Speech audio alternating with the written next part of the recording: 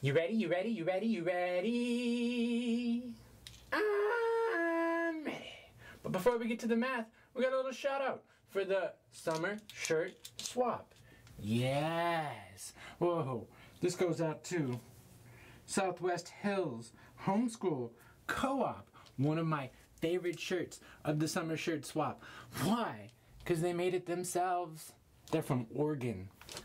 Okay, let's talk about like terms. Like terms are terms with exactly the same variables raised to exactly the same powers. Yes, take a look behind me.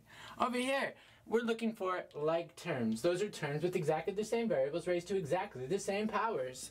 Um, um, here we have A, B. Is this one like that one? No. Although, they do have like, what is, like terms are terms with exactly the same variables raised to exactly the same powers. They do have exactly the same variables because they both have a and b, but wait, b is squared. Oh no. So wait, is this one like that one? Their b is squared, and they have the same variables, but they're not raised to the same powers because there we have a and there we have a squared. But there's an a squared and a b, but that b squared is not like that B because there's two B's. I'm a B, I'm a B, mm-mm. No, okay, so wait, there's an A square, so these must be alike. No, although they do have A to the 2, this one is missing a B. I'm starting to think that there aren't any like terms. Are there any like terms? Are these alike? No. Are these alike? No. Are these alike?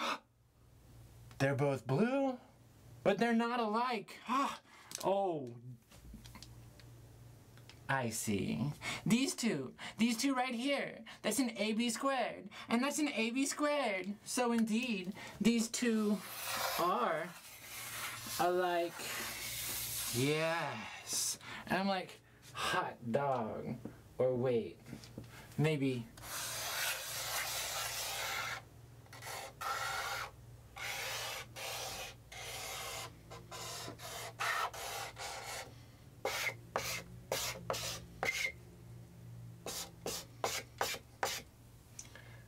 That last one was off the hook.